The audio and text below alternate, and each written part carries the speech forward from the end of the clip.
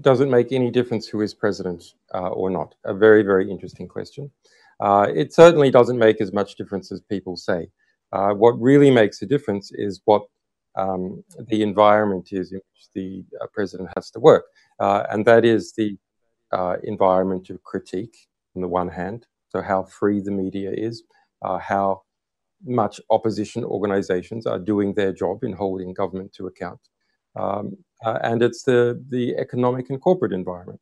Uh, and, and then to a degree, the, the international uh, foreign affairs environment. Um, and the, the, the president is much more a spokesperson for these uh, forces, forces around them.